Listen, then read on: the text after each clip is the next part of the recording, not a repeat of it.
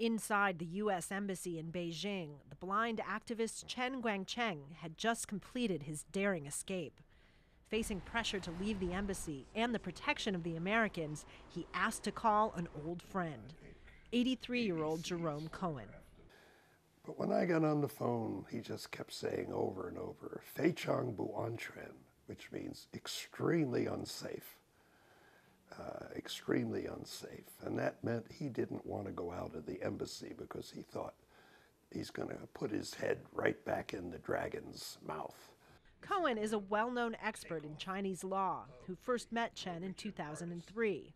As the co director of the U.S. Asia Law Institute at New York University, he offered Chen and the Chinese government a way out. The desire to formally study law was part of what caused Chen to flee his heavily guarded home in the countryside, where he'd been in prison after exposing his government's policy of forced abortions and sterilizations. The U.S. negotiated a deal with the Chinese government that would have allowed him to attend a school in China, but Chen feared for himself and his family's safety. Cohen offered Chen a position as a visiting scholar here at New York University. It's a deal that seems to have the support of both the Chinese and the American governments, not to mention the local student body. It's a gentle way to make sure that all the parties get what they want. Uh, you know, Obama, the Obama administration gets to get the guy out of China, and China gets to say, oh, we didn't cave to the Obama administration. Someone of his caliber can obviously bring a lot to the dialogue here at the law school. There's a lot of students from China here, so it could be interesting for them to be able to speak with him, especially with students who want to maybe go back to China and practice there.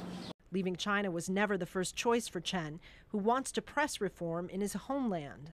You can do a lot from America, maybe more now for China in America than you can do in China given the uh, penchant of the Chinese government to lock people up who don't march in intellectual lockstep with them. What he can accomplish in exile and how long he will stay are among many unanswered questions. But it looks like the next step for the blind activist is the United States. Kristen Saloomey, Al Jazeera, New York.